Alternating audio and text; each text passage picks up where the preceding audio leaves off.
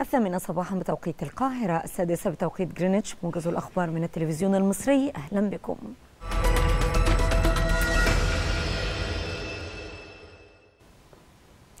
أعلن الرئيس عبد الفتاح السيسي عن انطلاق فعاليات النسخة الثالثة لأسبوع إعادة الإعمار والتنمية بالاتحاد الأفريقي تحت شعار نحو مستقبل أفضل لأفريقيا من خلال بناء السلام في الفترة من الثاني والعشرين إلى السابع والعشرين من نوفمبر الجاري.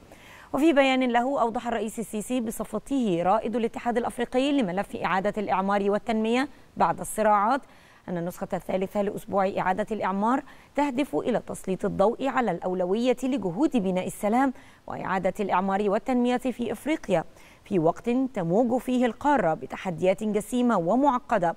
وفي ظل أجواء جيوسياسية واقتصادية عالمية يسودها الاستقطاب ما يتعين معه تبني رؤية أفريقية شاملة لمجابهة تحديات السلم والأمن والتنمية.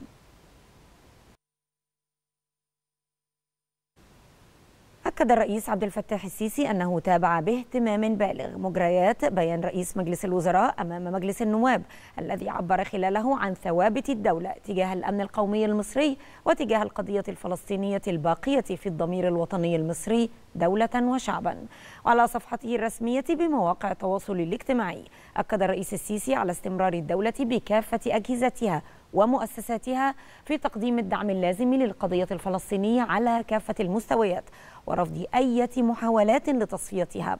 ودعا سيادته لكافة الأطراف الفاعلة إلى إعلاء صوت الحكمة وتفعيل القرارات الدولية بذات الشأن. برعاية مصرية قطرية أعلنت كل من حركة حماس وإسرائيل التوصل لاتفاق هدنة لمدة أربعة أيام. وقالت حركة حماس في بيان لها إنه بموجب الاتفاق سيتم الإفراج عن خمسين من المحتجزين في غزة مقابل إطلاق سراح 150 فلسطينيا في سجون الاحتلال الإسرائيلي ودخول المساعدات الإنسانية إلى القطاع المحاصر. وأضافت الحركة أنه بموجب الاتفاق ستلتزم إسرائيل بعدم مهاجمة أو اعتقال أي شخص في جميع أنحاء غزة خلال فترة الهدنة. ومن جانبه أعلن رئيس الوزراء الإسرائيلي بنيامين نتنياهو أنه سيتم إطلاق سراح المحتجزين لدى حركة حماس على مراحل.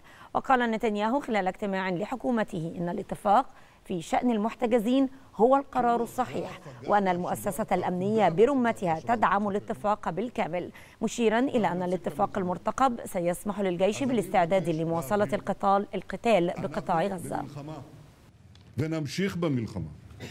נמשיך במלחמה. استشهد 15 شخصا على الأقل غالبيتهم نساء وأطفال.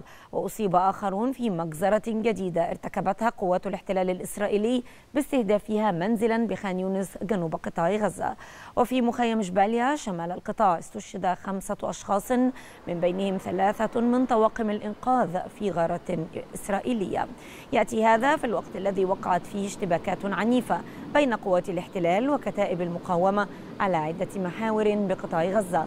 وأوضحت مصادر فلسطينية أن الاشتباكات العنيفة أسفرت عن مقتل عدد من الجنود الإسرائيليين. عزز الجيش الأردني انتشاره على طول الحدود مع إسرائيل. وحذر رئيس الوزراء الأردني بشر الخصونة من أن أي محاولة من جانب إسرائيل لدفع الفلسطينيين بالقوة عبر نهر الأردن سيمثل انتهاكا لمعاهدة السلام مع جارتها. وقال رئيس الوزراء الأردني إن أي نزوح أو خلق ظروف تؤدي إليه سيعتبرها الأردن إعلانا بالحرب وبمثابة خرق جوهري لمعاهدة السلام بين البلدين.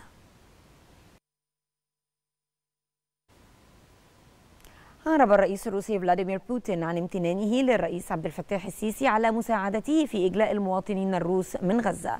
جاء ذلك خلال كلمة لبوتين في قمة استثنائية عبر الفيديو لمجموعة بريكس التي عقدت بمبادرة من جنوب أفريقيا.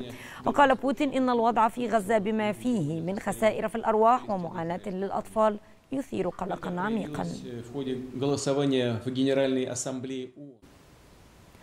دعا رئيس الهيئة الوطنية للانتخابات المستشار حازم بدوي الشباب وحثهم على المشاركة الفعالة في الانتخابات والتعبير عن رأيهم والمشاركة باختيارهم.